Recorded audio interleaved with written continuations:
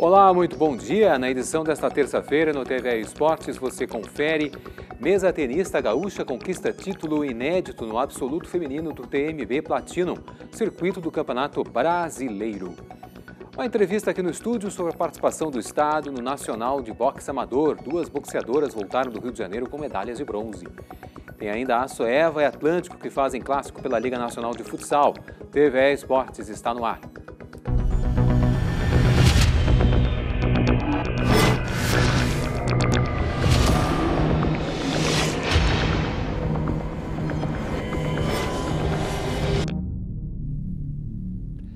Muito bem, a gente começa o TV Esportes de hoje falando sobre tênis de mesa. A atleta gaúcha conquista um título do absoluto feminino do TMB Platino, circuito do Campeonato Brasileiro disputado em Maringá, no Paraná.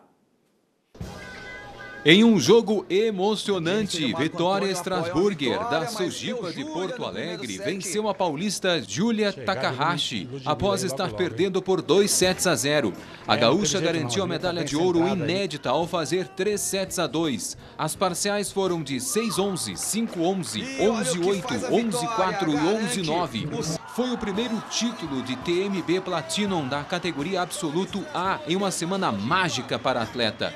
Dias antes, ela também conquistou o título juvenil. Os dois primeiros sets mostraram superioridade de Júlia, favorita por sua grande experiência internacional. A atleta de São Caetano fez 2 a 0 com relativa facilidade em 11 a 6 e 11 a 5. Depois começou a surpresa. Vitória chegou a estar em desvantagem de 4 a 7 no terceiro set, mas finalmente encaixou seu jogo e fechou em 11 a 8. No quarto set, a gaúcha manteve o controle da partida para vencer por 11 a 4 e levar a decisão para o quinto e decisivo set. E Vitória foi perfeita, fechando em 11 a 9, conquistando sua segunda medalha de ouro na competição. Agora, vamos para o boxe. Medalhistas olímpicos não deram chance para a concorrência no Campeonato Brasileiro da modalidade. Medalha de bronze nos Jogos Olímpicos de Tóquio no ano passado, Abner Teixeira ficou com o título na categoria acima de 92 quilos. Na luta decisiva, ele venceu Joel Silva por decisão unânime dos árbitros, após três rounds equilibrados. Teixeira segue invicto no ano. Foram 15 combates até aqui, com 15 triunfos. Entre as mulheres, destaque para a nova conquista de Beatriz Bia Ferreira, a campeã mundial e medalhista de prata na capital japonesa, levou a melhor sobre Rebeca de Lima na final da categoria até 60 quilos, em outra decisão unânime dos juízes.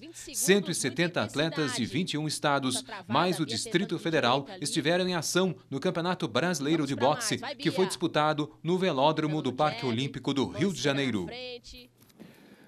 Bom, no TV Esportes a gente vai continuar falando de boxe, né, sobre o Campeonato Brasileiro, mas boxe feminino, porque aqui no estúdio a gente conversa agora com Cláudia, Cláudia Azevedo, treinadora da Seleção Gaúcha de Boxe Feminino. Ela também orienta as boxeadoras a Marília Dutra e a Lilian Santos, que foram medalhistas de bronze no Campeonato Brasileiro, que foi encerrado então no final de semana no Rio de Janeiro. Bom dia, garotas, tudo bom bem? Bom dia, Obrigado. tudo bom? Tudo certo? Bom, Primeiramente, Cláudia, eh, eu queria que tu falasse um pouquinho da avaliação, antes de falar até mesmo com a Marília e com a Lilian, sobre a seleção gaúcha boxe feminino. A gente tem duas medalhistas de bronze. Falasse um pouquinho para a gente sobre como é que foi a participação, o que, que vocês acharam, o que, que tu achaste do Campeonato Brasileiro, também a participação da seleção gaúcha no boxe feminino. Tudo bem, Marcelo. O, o boxe esse ano teve um campeonato incrível, exemplar, algo que a gente nunca tinha visto. A Confederação Brasileira de Boxe organizou um evento uh, perfeito, lá no Velódromo, no Parque Olímpico do Rio de Janeiro. E a seleção gaúcha foi composta por 11 atletas e quatro técnicos, da qual eu fui uma das técnicas, e as meninas compuseram também a seleção. E elas trouxeram duas medalhas de bronze. É, foi um campeonato muito acirrado e a gente ficou muito satisfeito com a nossa participação, principalmente no que tange ao boxe feminino, uhum. que é uma das nossas maiores lutas aqui no estado, é aumentar a participação de mulheres no boxe uh, de competição. As academias estão lotadas, o boxe é um esporte que está muito bem difundido, mas ainda as mulheres ainda têm um pouco de receio de buscar o boxe de competição. E essas meninas elas foram, elas são treinadoras também, né? elas são atletas e treinadoras, e elas conseguiram lutas incríveis. Nós fizemos, olha, elas tiveram assim, uma participação fenomenal. Elas venceram estados fortes como Bahia, como uh, Rio de Janeiro, São Paulo, né, que são estados que têm o boxe já feminino mais forte que o nosso, e elas conseguiram vencer as atletas desses estados. Para nós, um balanço, foi uma participação muito boa. Legal. Bom, primeiramente, então, a gente vai falar, então, as duas medalhistas ali estão, estão com a Marília e com a, a Lilian. Primeiramente, quero falar com a Lilian e a Marília. Bom, a gente vai intercalando, mas primeiramente, a história de vocês duas no boxe, primeiramente. A Lilian. Lilian, Desculpa, a Lilian, então, vai falar um pouquinho para a gente da história e justamente também falar um pouquinho da participação no Campeonato Brasileiro. Eu comecei no boxe tem uns quatro anos. Inicialmente foi por curiosidade, eu trabalhava numa academia onde tinha a modalidade porém eu tinha a parte mais boxe funcional e a parte mais boxe técnico e aí eu acabei me apaixonando pela técnica do boxe né e também por toda a parte uh, fisiológica né, do boxe, toda a parte uh, de mexer o corpo, de movimentar o sistema nervoso central. Então, é, uma, é um esporte muito completo e muito complexo também. Então, me apaixonei pelo boxe uh, e, enfim, comecei a treinar e logo em seguida comecei a competir. A gente está vendo agora imagens tua com a Nádia Santos, né? Como Sim. é que foi essa luta aí? Essa foi a luta que eu perdi, na verdade, assim. Sim, mas, mas eu eu estava muito tranquila porque eu já tava, já tinha garantido a medalha de bronze. Ela é uma atleta de 39 anos, aonde esse foi o último campeonato uh, nacional dela. O boxe feminino e o boxe masculino também vai até os 40 anos de idade, então esse ano foi o último ano dela. Ela tem muitas lutas, mais de 200 inclusive. Uh, ela tem só 20 anos de boxe e eu tenho quatro. Então, na verdade, assim, é uma foi uma luta muito muito eu sabia que ia ser muito difícil, mas eu encarei de uma forma bem tranquila, porque apesar de, de ter menos experiência, eu já tinha garantido a medalha e eu assim, o boxe é uma mão, né? Muitas vezes a gente joga uma mão e aquela mão ela finaliza o, o round, né? Finaliza a luta Legal. e a gente acaba vencendo. Então, assim, uh, entrei com já com o pensamento de que sim, poderia perder, porém eu fui porque eu não tinha nada a perder. Eu já estava com a medalha garantida, já estava me sentindo super vitoriosa, não estava mais com aquele peso, né, da da, da luta em si, que a gente fica, não adianta, a pessoa vai ter duzentas e poucas lutas que nem ela, vai sempre ficar nervosa, a gente nunca sabe o que vem pela frente. E mesmo que a gente tenha uma noção, pode ser que o adversário nos surpreenda. Maravilha. Marília, como é que fala, conta pra gente como é que foi a, a tua luta e também um pouquinho da tua história pra gente aqui. A minha última luta da semifinal foi, eu já sabia que ia ser uma luta mais difícil que as anteriores, né? Era uma atleta mais experiente, uma atleta que já participou da seleção brasileira, inclusive. Então foi uma luta assim uh, que tá vendo agora? que eu não ia que ia ser um jogo de xadrez, como a Claudinha me orientou, né? Que eu ia ter que ia ser uma luta que eu ia ter que estudar, que eu ia ter que pensar, que eu ia ter que agir com mais uh, sabedoria e menos imposição física, como tinha sido as lutas anteriores. Uhum. Como é que é a tua história boxe? Eu sou atleta já desde a adolescência. Eu jogava futsal, aí eu tive uma lesão e aí eu fui, eu tive que parar um pouco e aí eu conheci as modalidades de combate, eu fui experimentando e aí agora eu estou no boxe, eu comecei a competir esse ano no boxe. Então, já tem medalha de bronze. Sim. Não, pô, sensacional, pô, maravilha, parabéns, né, vocês aí, Obrigada. parabéns. Bom, como tu disseste, né, a própria Cláudia estava dizendo aqui, o boxe, resgatar, não só resgatar, não é resgatar no caso, né, mas difundir cada vez mais o boxe competitivo. Como é que está a modalidade? Não, vocês são do interior, vocês são de Porto Alegre, região metropolitana, e até mesmo queria que tu falasse também sobre uh, como é que está o interior do estado no sentido do boxe.